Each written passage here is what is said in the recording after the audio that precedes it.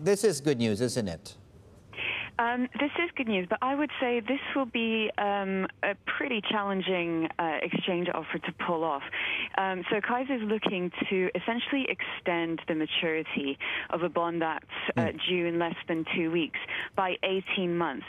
Um, and it's it's this is an offer that expires next Thursday, so bondholders have a week uh, to say whether they want to, to do this or not.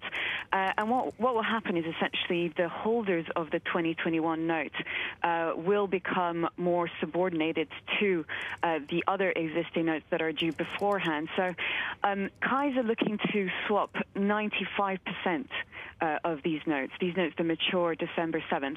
And if you remember, David and Yvonne, um, this is something that Modern Land tried to do uh, in October, and then it cancelled the request to, to extend the maturity of a dollar bond by it's only three months, and later defaulted. So uh, I would say that um, next Thursday, when the when the Kaisa offer expires, will be a very interesting time. We'll see if bondholders actually want to do this to avert uh, default or uh, whether they force kind of a restructuring uh, of, of this note.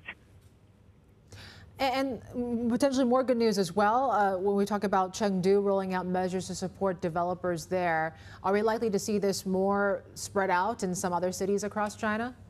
So yeah, this is the first city to really explicitly um, say that it's stepping uh, up mortgage loans. This is being taken positively by the market. You see uh, shares really rallying um, in the property space. I would say that kind of any good news uh, or any any sign uh, that the local governments or the central government is stepping up efforts to ease the liquidity crisis uh, will be taken so positively because the the indication has been uh, very much on the you know that that China will continue to tighten funding conditions for the sector.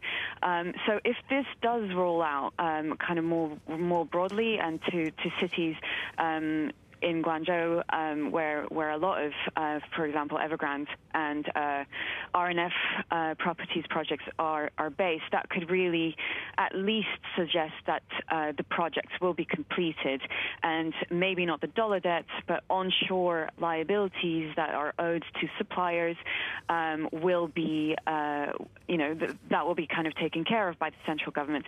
But again, it's an indication of government support, and that's very much what's driving sentiment.